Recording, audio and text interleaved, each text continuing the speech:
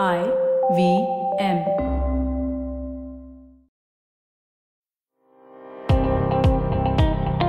Welcome to All Things Policy, a daily podcast supported by Pragati, a flagship media initiative of the Takshashila Institution.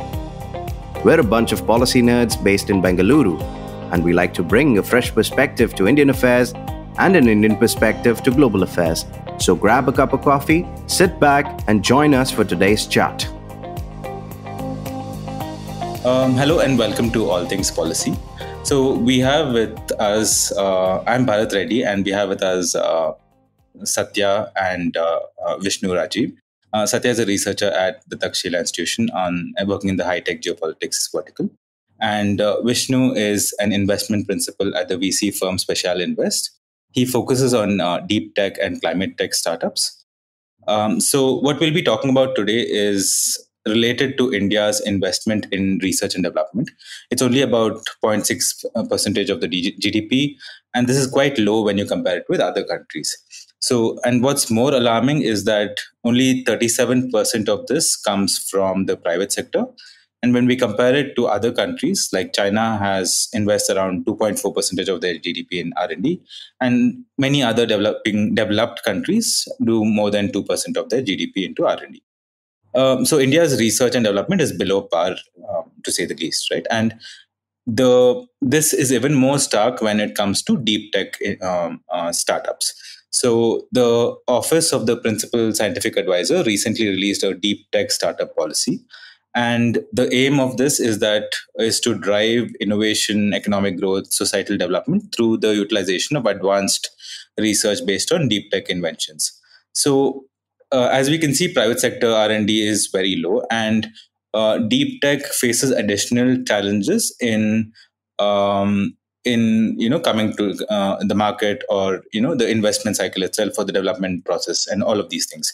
So it'll be good to understand this uh, um, ecosystem a little better, and we have with us Vishnu, who's a who studies this space uh, very deeply. Um, so welcome, Vishnu. It's nice to have you here. And uh, to get started with, uh, can you tell us what is deep tech from your perspective and how is it different from other areas um, that you work on?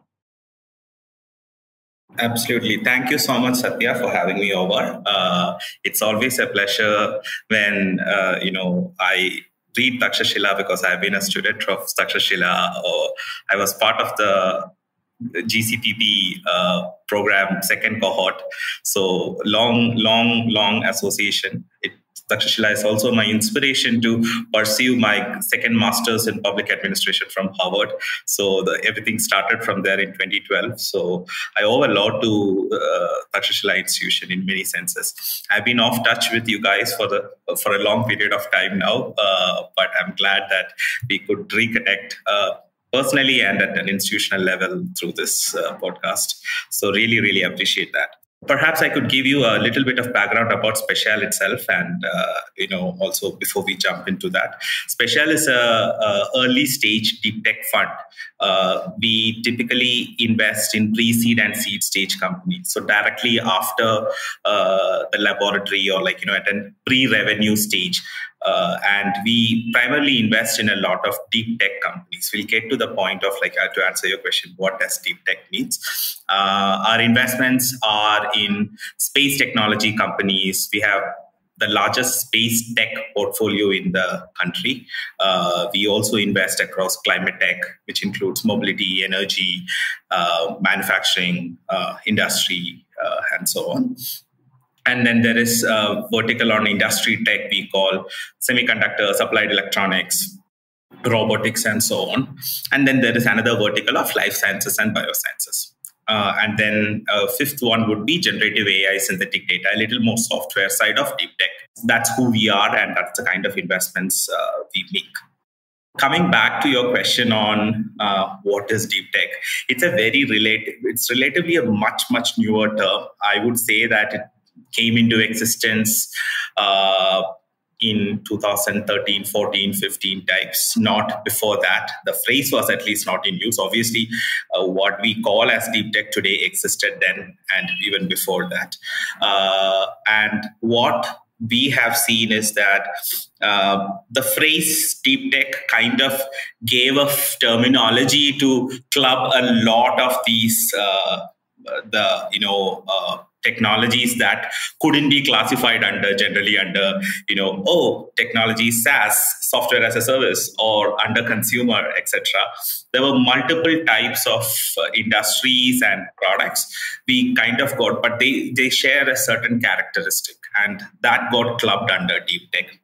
Generally speaking, when we speak about deep tech, we refer to companies which are uh, building a technology product uh, which has heavy basis on science and engineering. So it is not a pure software product. It is not a, a, product which is about a platform and you know you can just quickly scale up or anything. It's a product where uh, some amount of research and science has definitely gone into. Um, and and time immemorial, like we, this thing has happened across the world. This is not the first time. Like the whole all industrial revolutions have always been, except the recent one where digitalization was stressed upon, it has always been hardware and science based stuff. So it's kind of like the circle comes back. Uh, cyclically, it is becoming uh, better, a newer kind of you know uh, product. I mean, newer just version of the older hardware products. I would say. Uh, generally speaking, deep tech uh, startups, when an investor's perspective, or generally, uh, you know, uh, from a startup uh, ecosystem perspective, it holds slightly higher risk than the you know typical products that we do. Actually i would say that it, it, it has risks which are different than what the current startups face so typically when, when venture capital as such is a, as a financial class is very very risky. That's why you know you take equity for it. You can you know you see that uh, the value of equity that people ask in a venture capital investment is quite high compared to any other investment any other typical any other solution in in in particular so we usually look at when, when we make venture capital investment there would be a slight technology risk with the product development etc there would be a market risk uh, there would be a sector risk etc uh, but then when it comes to uh, deep tech investments or startups the highest possible risk comes from the technology side of things. And when I say technology side of things, at least at my stage, which is the early stage, we usually see two types of risk. One is at the science science risk science risk is very very very uh, like i mean it's it's the, the it's very self-explanatory. Like you know scientific part is not resolved yet. Like the there is a there is an original thinking that has gone into it and there is a part of that science that probably needs to be proven either at a lab scale or at at, at least at a commercial prototype scale. And then there is an engineering risk as well.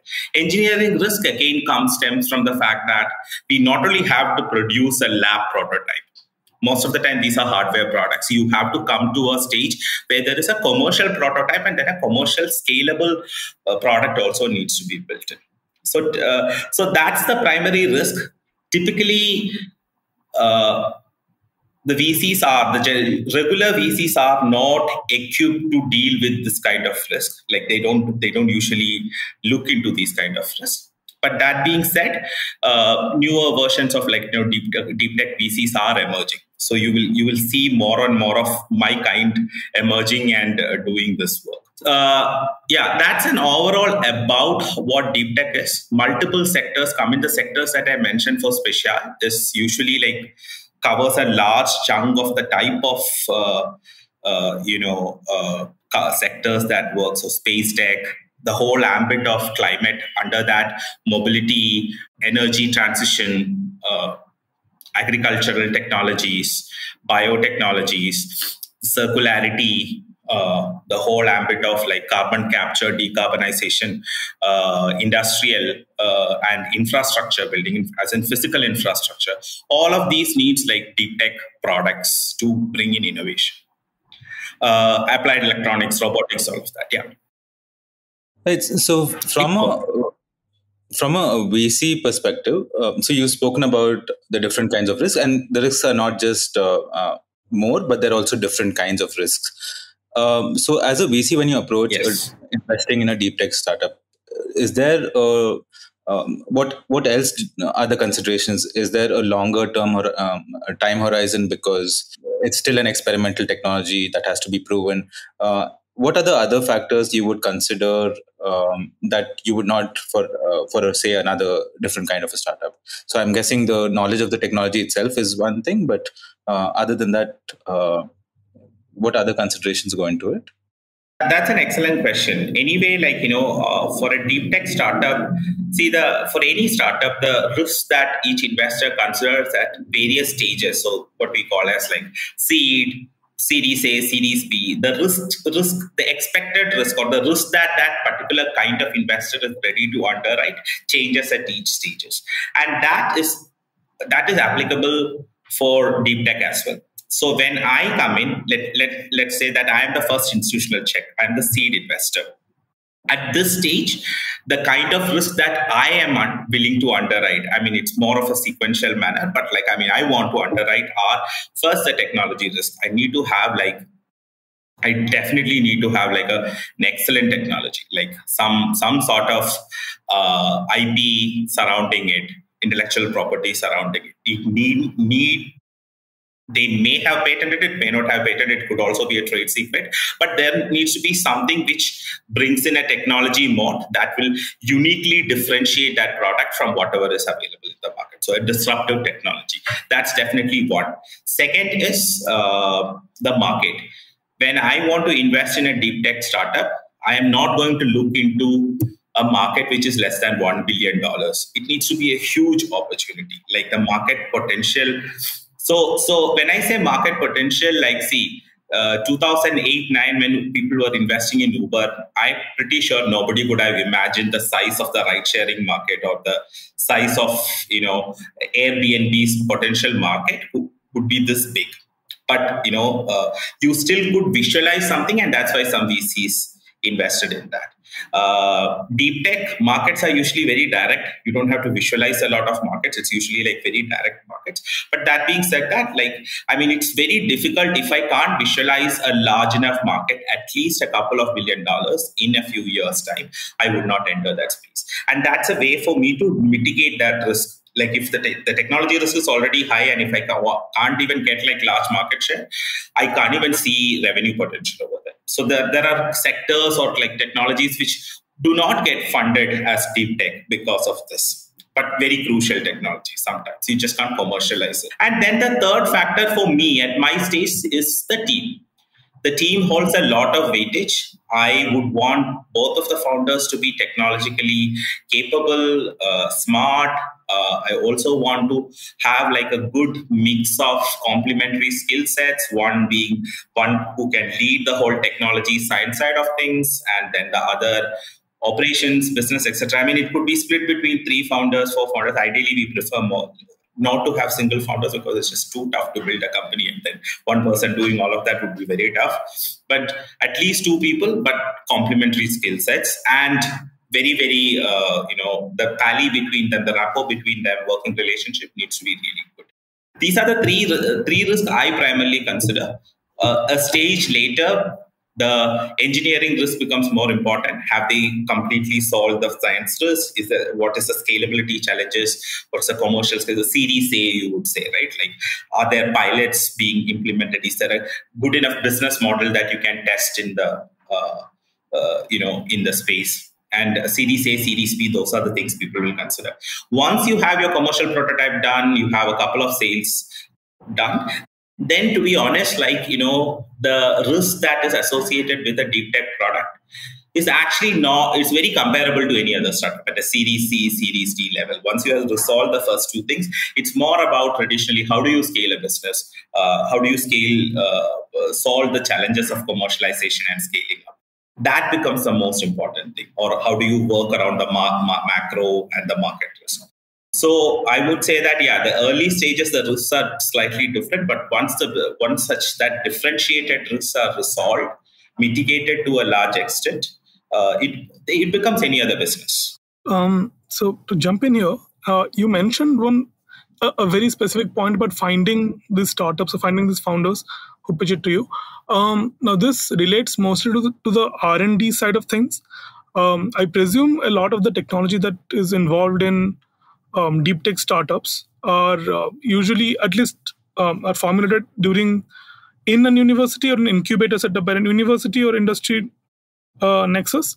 How do you how how does the pathway from there to a funded deep tech startup look like from a from your perspective? I assume you have a um, good bird's eye view. Yeah, yeah, yeah, sure, sure. So, so, so uh, fundamentally, uh, uh, you are right. A lot of these things will have to come out of universities and uh, you know centers of excellence for research, etc. That is being in the country. Fundamental research needs to happen.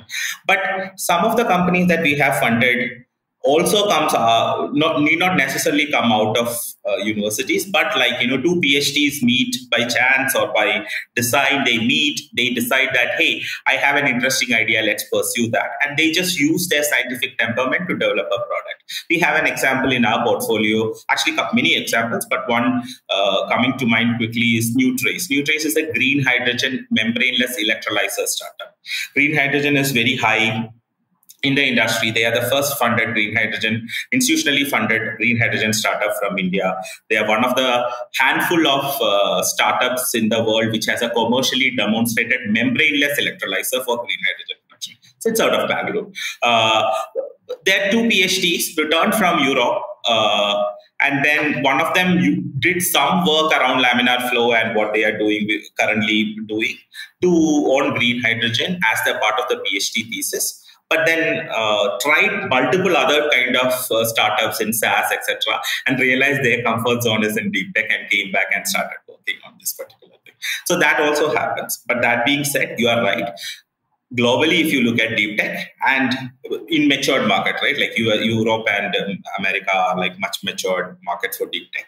Uh, and then a lot of it comes from uh, universities. They have a mechanism to actually commercialized from universities. We are still at a very, very nascent stage for that.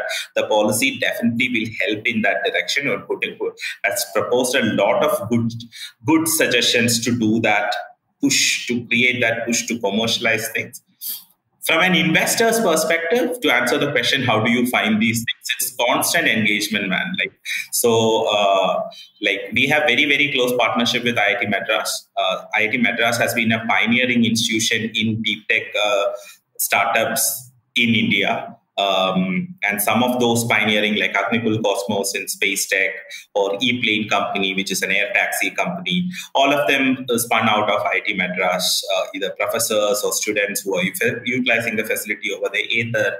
All of them came out of IIT Madras. So uh, we have invested in some of them. We have very close contacts with the people uh, over there. So we kind of like uh, get to see all of that. With other institutions, we, we, we are creating that kind of relationship um, and you know work with those uh, uh, people over there, the incubation centers, the professors. Sometimes the professors don't want to go to the incubation center; they kind of try to do it on their own. So how do I reach out to them? Um, like from my part, say uh, on Monday, I'm going to IIT Hyderabad for a, uh, their demo day but I mean, it's just a four-hour event, but I'm going for two days, ensuring that I get to meet all the professors in uh, working over there.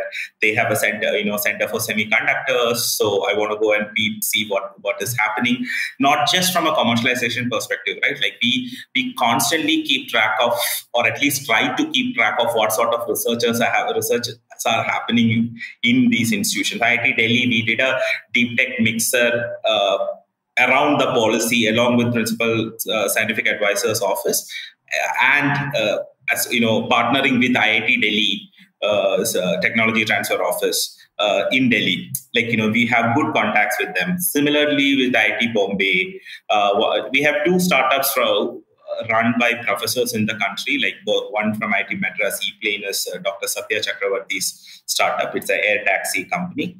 Uh, and then there is InspeCity, uh, Professor Indrajit Chowdhury from uh, IIT Bombay. He uh, works on afterlife of satellites, extending that and creating constellation of satellites to uh, do more work with after the, at the afterlife of satellites. Uh, and there are many companies in our portfolio which are spun out of the universities as well. So for us, it is constantly being in touch with some of the best institutions, uh, best places where uh, the research is happening, where the innovation is happening. Uh, BITS Pilani, IT Roorkee. Um, earlier, there used to be this thing that you know these kind of uh, these kind of innovations only comes out of IITs. That is not the case anymore. Uh, SRM, VIT, NITs uh, in Bangalore, uh, uh, the two engineering colleges over here, I, TS and RMP. Uh, I, am not sure of the name. RV, RV and yeah. So both of them have like many founders coming out of there. So that's that's a large part of it. I also want to point out a, a trend. This is about like I mean researchers and all of that. See, uh, five even five years ago, if you wanted to start a startup in India, if you don't know coding, there was no startup. Like software used to be like the basic component backbone for a startup. And nobody could even imagine raising VC money if you didn't know uh, software. That has changed. A lot of the folks who have gone into industries, uh, who are in their late 30s, 40s, 50s, are realizing that they are sitting on this wealth of knowledge on manufacturing and skill sets that they have learned from how they have commercialized. They can come back and they can start thinking about starting up. A lot of them are doing that. A lot of them are partnering with uh, their friends in universities who have been doing cutting edge research. See, think about this, right? Like, I mean, somebody with cutting edge research mindset from a university partnering with someone who can scale products, hardware products, who have manufactured it. It's a completely different skill set that has not been utilized. I mean, they were, most of them are like in the multinational companies or like, you know, working with Tata or ITC or, you know, some of those companies have good skill sets, but really, really like stagnated, didn't know where to go. All of a sudden, in the last three, four years, they have an opportunity to do something bring. The best example is mobility. A lot of people from mobility companies like the traditional auto industries have just jumped out and started doing things. It could be components. It could be uh, you know uh, uh a new vehicle itself. A lot of them are doing. So so there is that's that's we should not uh, see think it is only at the university scale. There is there is immense amount of talent in the corporates as well and they are also coming back. They are also seeing a way to start a business so it's a, it's a huge opportunity. So just um, drawing on that um, I, the sense i get from this is the discoverability of r&d or intellectual property or basically ideas um, is being primarily industry led like led by vc firms like yours. Um, is there is there any other institutional mechanism through which that you feel or you have seen in your experience where discoverability of the r&d like this knowledge base this skill sets etc uh, is being uh, like showcased to industry who can then scale it up or something like that. Like you mentioned that your firm does this.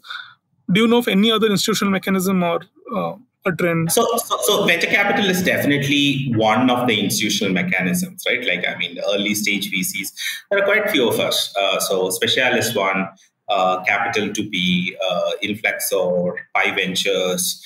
Uh, these are some of the firms which are trying to focus on uh, deep tech at various stages. Uh, very few as early as us. Most of them come at a slightly later stage. We don't mind taking even the what we call as a TRL three level technology readiness level. So NASA has a scale of TRL one to TRL nine, 10 where you know from lab lab idea to commercial prototype stage. So trl3 trl4 is like very very lab scale uh, stuff. So we don't mind putting money at those uh, stages either. Uh, most vcs even in deep tech have more comfort if you are, people are at trl 5 6 stages where you at least have some sort of commercial prototype or a scaled prototype and not a lab scale so, so definitely VCs are one place we need to have a lot of specialists in the world, uh, in India, to scale this up. But there are there are multiple ways in which you can discover or support these startups at very early stage. See, there's a whole part of where academia needs to be linked with industry to start developing even products which are industry linked the linkages to industry is very very limited in India currently.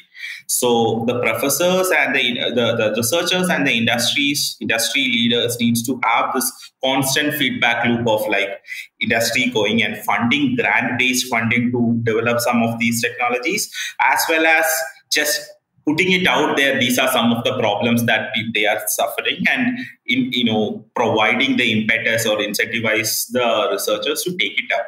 So that feedback loop mechanism needs to be there. So idea wise that's one way to ensure that we have constant ideas which are useful and commercial commercializable.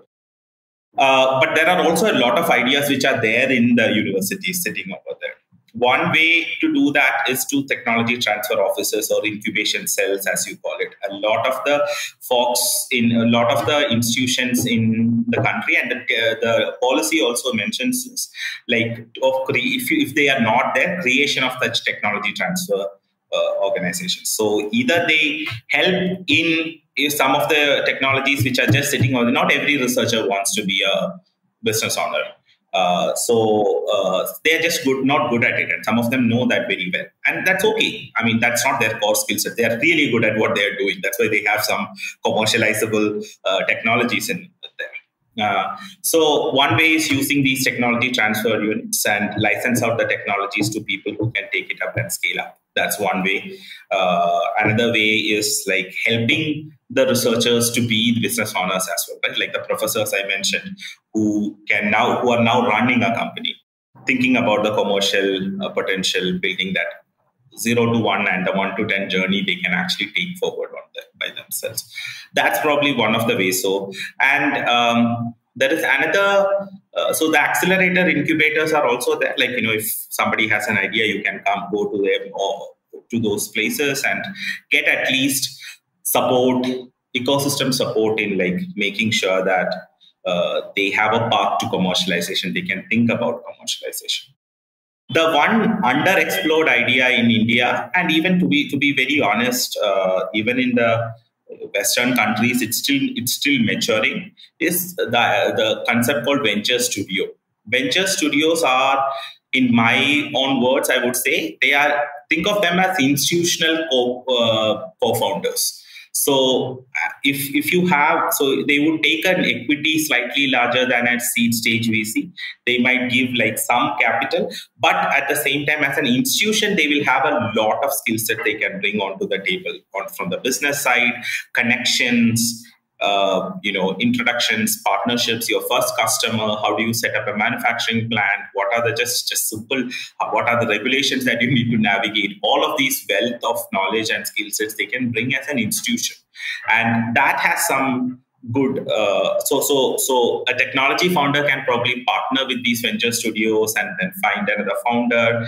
They can kind of like develop that uh, concept. It could be that model. There could also be models like Entrepreneur First or Antler, where they just provide the space for founders to meet each other. So, and then ideas get sparked.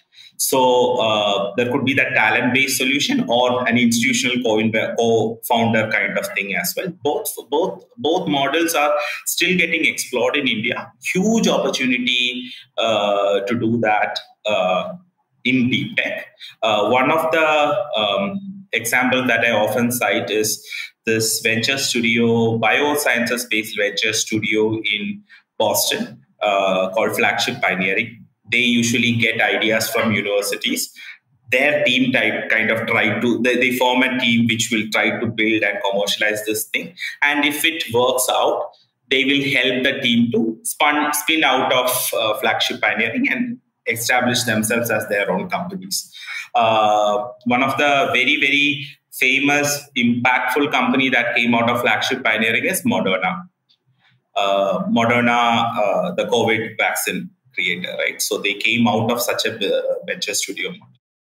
So I would say that's that's one of the great examples. So venture studio incubators, working with uh, early stage VCs, these are some of the ways in which you can discover the early stage startup. Stay tuned to All Things Policy. We'll be right back after a short commercial break.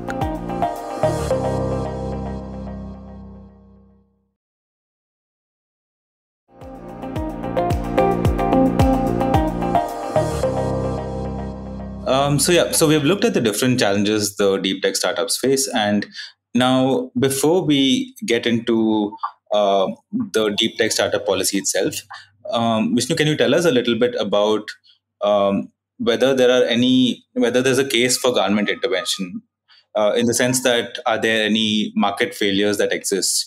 Uh, do you see that there's there's a um, lack of information um, visibility, for example, asymmetric information or um, any other kind of market failures that you see, or is there a case to uh, for the government or uh, to intervene because this has is it kind of uh, acts as a foundation for a, a lot of other uh, innovations which are built on top of it. Um, so, any from any of these kind of lenses, do you see that there's a case for uh, governments to intervene to uh, build a robust uh, deep tech ecosystem in the country? Uh, th- that's a very interesting question, Bharath. So, see, think about all the sectors that I mentioned under deep tech, right? Like mobility, energy transition, or uh, space tech, or you know, manufacturing, agriculture, building constructions, or you know, robotics drone technologies, all of these we are, we are hearing about, or like keep AI to the side for a bit, even, but to be honest, even AI, all of these, what do we see? One factor that is common in all of these is the research and scientific aspect is there. But if you actually look into the larger sectors in this piece, all of these are heavily regulated industries pharma, life sciences, biosciences. So, so inherently, the policy already plays a role in these industries as regulators. They have regulations in place or there are policy directions in place. The startups will have to come back, you know, uh, like like allude to and operate within the confines of these things. Uh, from a government intervention angle, so you, you said government intervention and not necessarily just policy. So I thought I'll, I'll uh, and, and when is government interventions required when there are inefficiencies that the markets can't solve for itself right that's what market failures so there are inefficiencies in the market i mean to be honest the, the whole venture instrument of so the all financial uh, the, the financial instrument of vc itself is a uh, solving market uh, failure in some sense if you go to the origins of it. Like you know there is if you have a new idea there is no way to fund it. The capital only uh, re- used to reward highly uh, risk-free assets, the debt capital that was uh, available. The riskier investments need equity, and that equity, how risky can you go? That's that's where we are pushing the envelope, right? So there, venture in, venture capital itself is like some sort of mechanism that created to solve market failure. That's just my argument. I'm not saying that you know it's a universally accepted thing, but that's how I think about it. Coming back to deep tech, so let's think about it in two different ways financial and non-financial.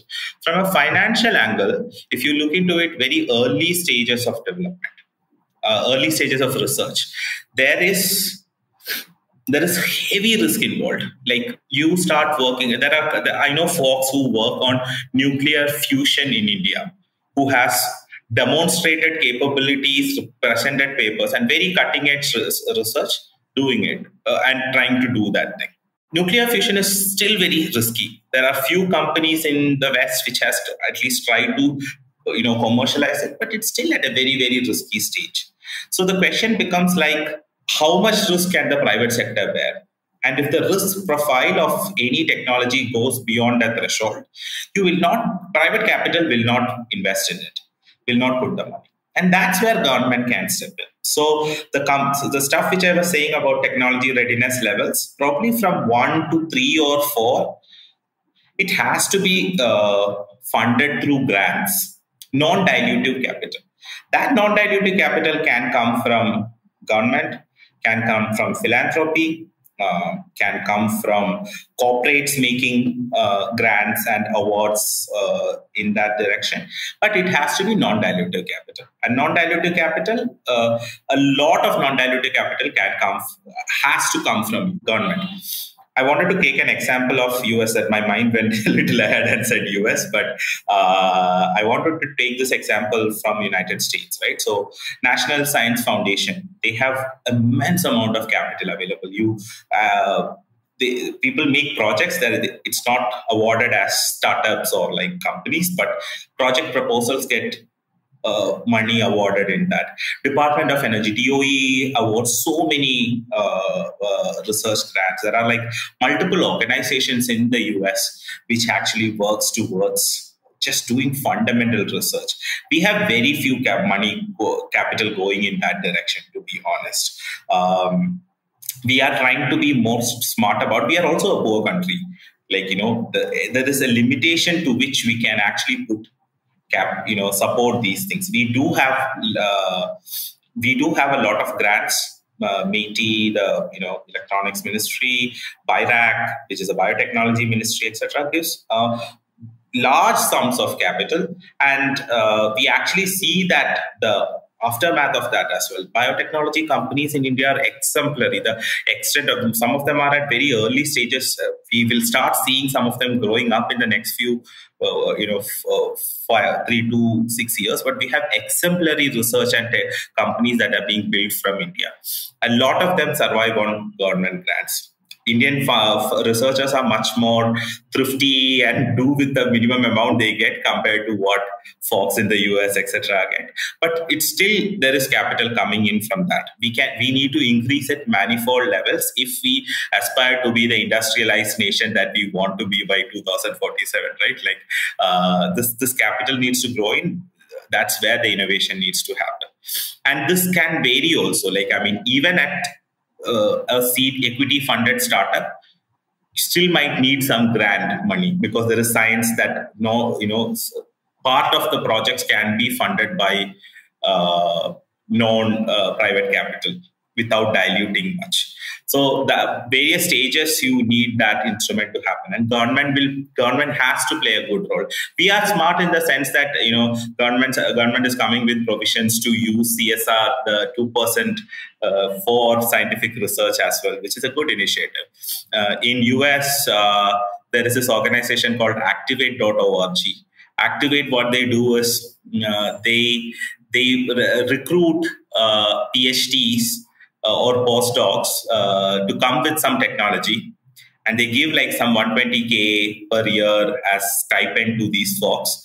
Two years and provide access to um, labs at MIT, UC Berkeley, and all of that, and say that hey, commercialize your technology, take it from lab and build the commercial prototype in two years. And there is like uh, th- those people have like a respectable income coming out of the stipend, and there is people trying to do that. So that's definitely one way to government intervention is required uh, and can be done there's a lot of like you know BITS Pilani coming up with a PhD program where instead of a thesis, build a startup. Uh, so we, we are we are the VC partners to them. But like I mean, it's a great approach. We, we should try all of that and see what works for us.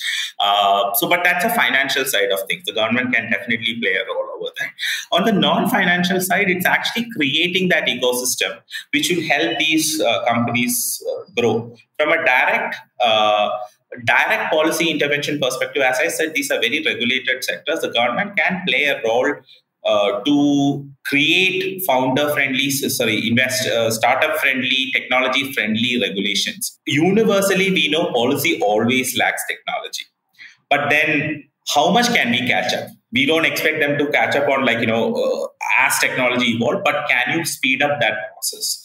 Um, RBI has done this experiment in fintech on sandbox approach. So basically, they work with few uh, startups and create these sandboxes, uh, as in like you know controlled experiments, you can say, and see what is the effect of a particular technology working.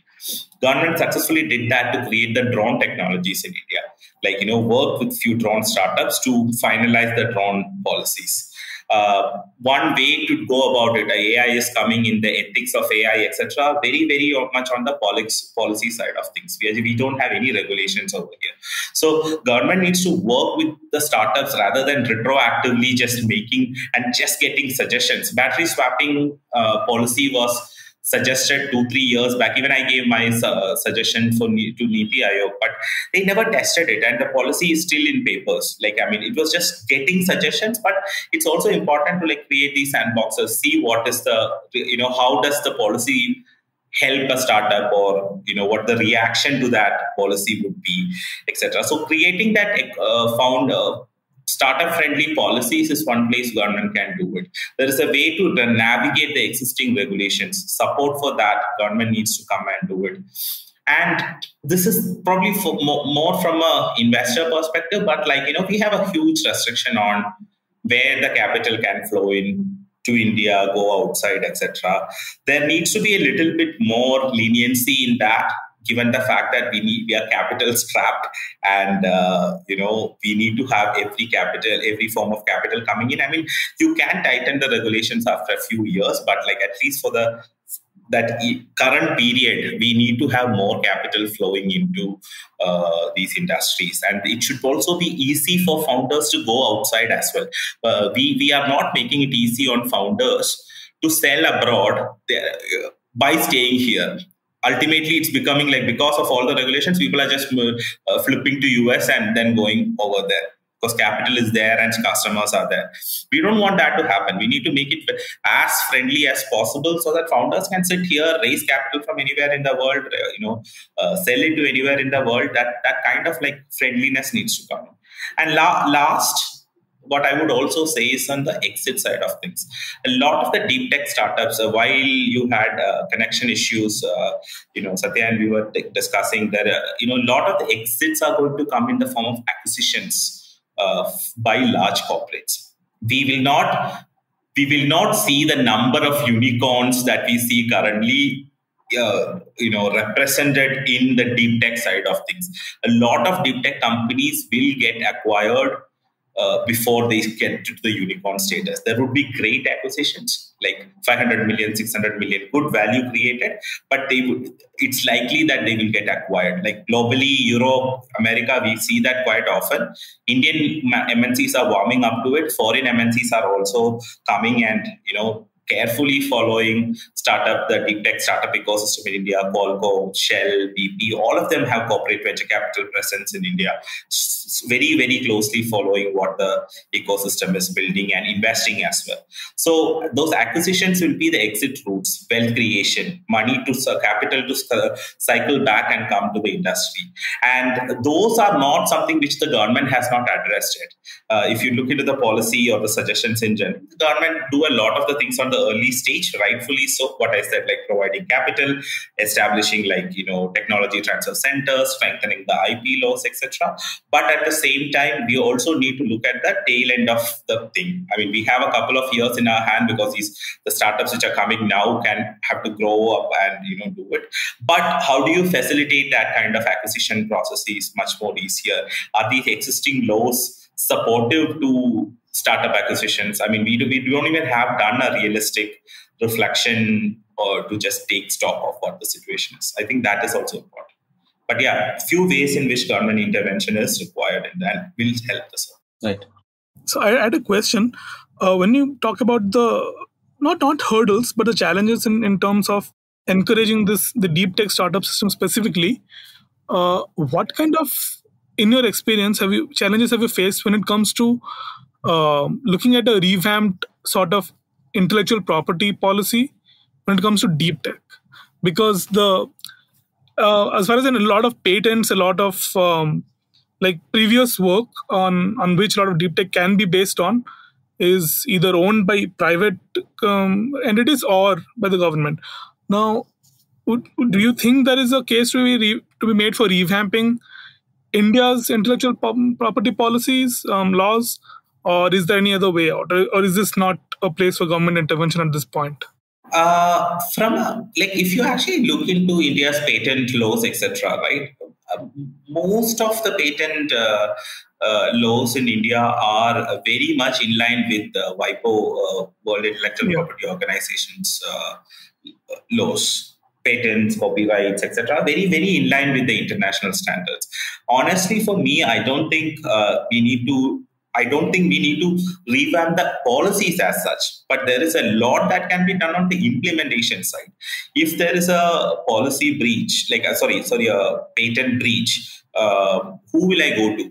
How long is going to? How what? How complicated is this process is? Can I easily like seek redemption? Is there a quick re- grievance, you know, uh, addressal mechanism in place. That those are the things that are more important. Like i mean if somebody steals my uh, patent or intellectual property and if i get resolution after 15 years there is nothing i need to uh, do over here. Market is over the time is over etc especially semiconductor and all like you know new new innovations keep coming in. So you need to uh, do so strengthening the implementation and addressing the grievances uh, quickly would be something which I would strongly encourage that India should do it. Uh, but also aware of the fact that uh, historically developing countries always had weaker intellectual property rights like i mean uh, china has for the like uh, it's the competition that used to help uh, like people are just replicating everything. You can't just go and sue everything and just be in a, like you can't. First of all, we are not a litigation economy or a litigation kind of society. Uh, so uh, there would be like so many pushback from us as a from a societal level as well. But that that also being like I mean US in the 1920s, 30s, they have copy, uh, you know, they have been like copycat, making copycats of like their uh, stuff that are being made in elsewhere and trying to build their economy. Japan did it in the 50s, 60s, and 70s. Korea did it in the 70s and the 80s. China did it for a much longer period.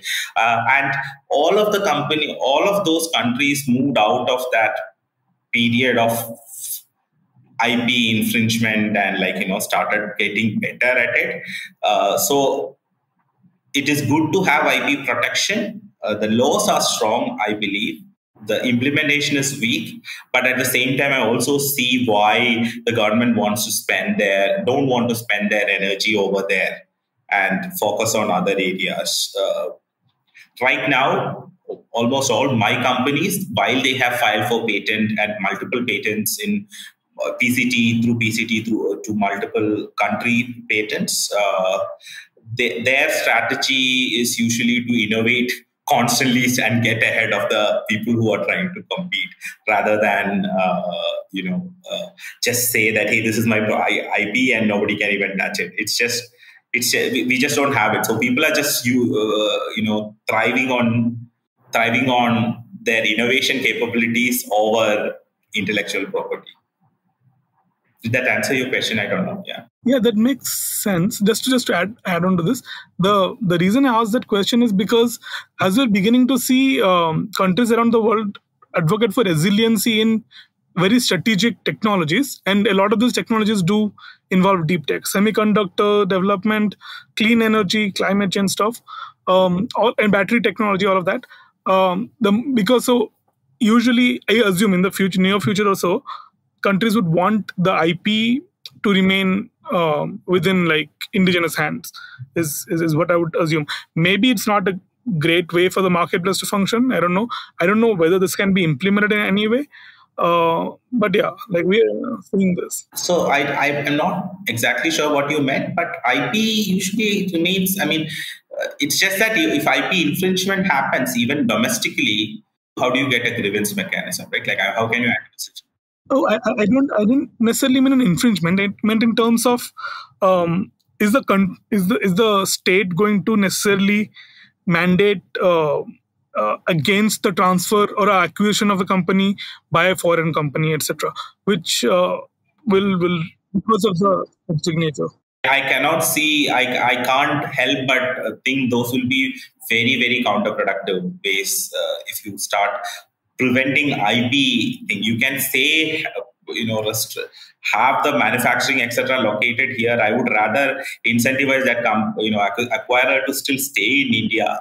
Uh, it would just only if if if you start like a lot of the times the acquisition is for the intellectual property from deep tech uh, sides. So right. if you are if you're going to prevent that Uh, it's just going to be counterproductive. Like, you know, we didn't, we won't have as much capital or exits that will happen. If see acquisitions won't happen, we investors are not going to get their money back. If investors don't get their money back, there is no capital recycled and coming back into the ecosystem. If if I get an exit, I become more audacious. I become more emboldened and risky. Uh, you know, I will take much higher risk in my next cycle of investment. That's how it works. It's you have to push the envelope edge with each cycle. So uh, putting artificial restrictions on uh, because I mean there are strategic areas or security related areas we may have to do that, but uh, generally speaking, uh, it would be counterproductive, is my sense that makes sense to me us also we just have been seeing a lot of like you know this kind of counterproductive thinking in in uh, strategic circles simply because of the nature of the technology being involved but yeah well time will will we'll see how it pans yeah. out well, over to you bharath uh, so Vishnu, you, you spoke a little bit about the regulatory uncertainty that's involved uh, in this uh, uh, development process, right? Um, so is there something that people working in deep tech can do to uh, bring about this, um, you know, um, help the government understand the technology better, um, build, I mean, uh, for the policy to catch up to the technology. So, is there some role that the industry or the academia can play to bridge that gap? Uh, what do you see uh, could be some the sandboxing approach that I mentioned, which RBI tried and you know drone regulation uh, before that they tried. It is mentioned in the deep tech policy draft also. Like you know, uh, uh, I've been following that for some time, and I think that's a great way to do it across the world. People have been trying and testing it. Uh, I think we should have easier playbooks uh, to get that implemented. Perhaps even like uh, think tanks like yours uh, and other think tanks can also take this initiative to facilitate right like at the end of the day it ha- it is an controlled experiment uh, the government does not have the right incentives or mechanism to do that controlled experiments and the private sector also needs to be incentivized enough to come and participate in it so a third party role is crucial in doing that who understand who can understand government as well as as well as uh, uh, the startup or the technology ecosystem. And at the same time does not have vested interest in either. So creating and uh, orchestrating that uh, could be like a mechanism that can be developed and how, how do you do that often? So uh, i think that's definitely one. Um, having constant dialogue with government industry and the technology ecosystem the startup ecosystem is something which needs to be facilitated and uh, the envelope of that conversations needs to be pushed uh, into more actionable items. So these conversations could be roundtables like you know uh, dialogues uh, between people uh, it, it, needs to be constantly facilitated and uh, we need to also track how this happens.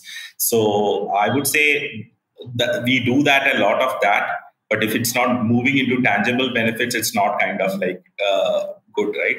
So, which is why alternative mechanisms like the sandboxing one or like uh, regularly taking feedback on a policy, like on the deep tech policy itself, uh, I believe the uh, PSA's office has done a fabulous job on like going around the country, getting a lot of people on board to get inputs and see what it is, what needs to be done.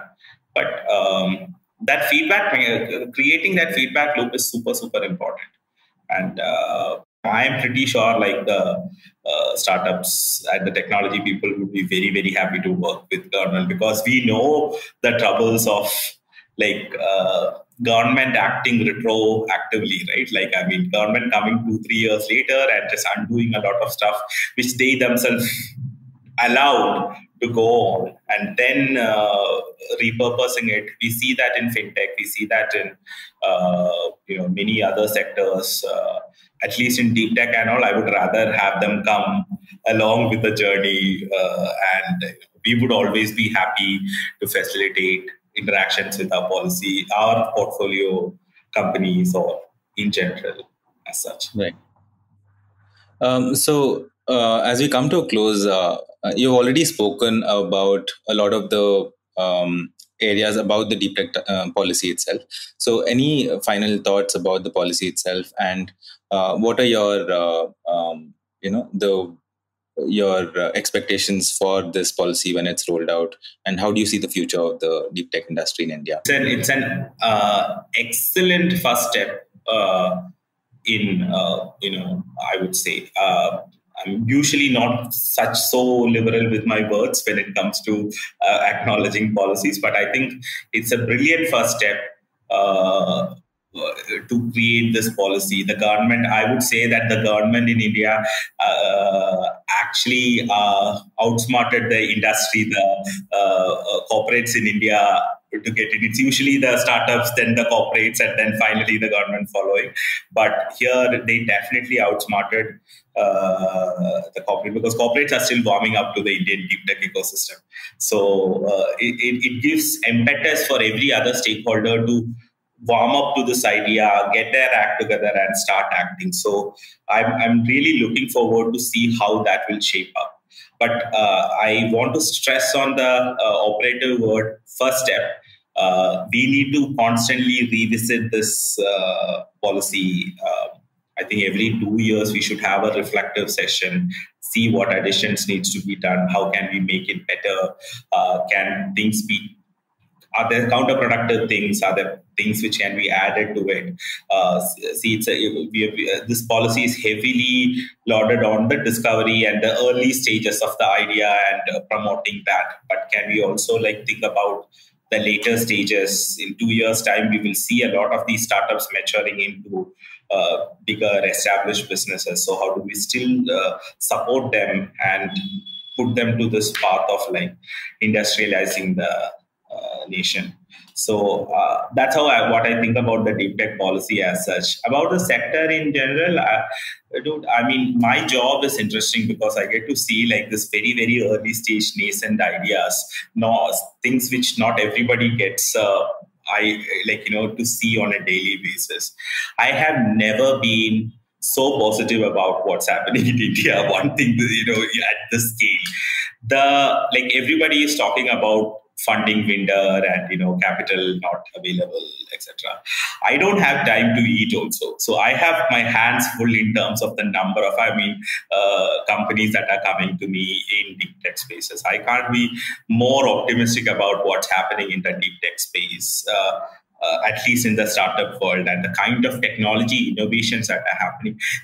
Some, sometimes just like you know when i hear an idea i am like I know this won't work, but the extent of imagination that people have opened up uh, or thought about it and decided that I will come and see. And we need that kind of thinkers, right? People who will be like thinking at like scale, at scales and like like completely out of the box or like destroying the box itself.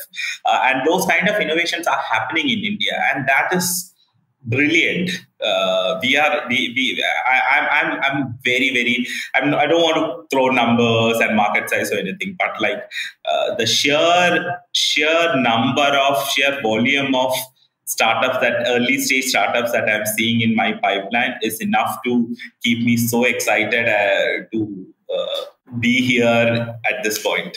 Right, that's a nice positive note to end on. So, uh, thanks, Vishnu. This has been a very, very int- insightful conversation. We've got a, a, window into your line of work, into the deep tech uh, industry itself, and how the government thinks about this. So, thank you so much for that. And we hope to have more such conversations with you in the future. Um, so, thank you, and uh, have a nice day. Yeah, yeah, you too. Have a nice weekend, guys. Bye. If you liked our show, don't forget to check out other interesting podcasts on the IVM network. You can tune into them on the IVM Podcast app, ivmpodcast.com, or wherever you listen to your podcasts. You can also follow IVM on social media. The handle is at IVM Podcasts on Twitter, Facebook, and Instagram. And hey, if you'd like to dive into Takshashila's research on technology, strategy, and economic affairs, check us out at our Twitter handle at Takshashila INST or our website takshashila.org.in.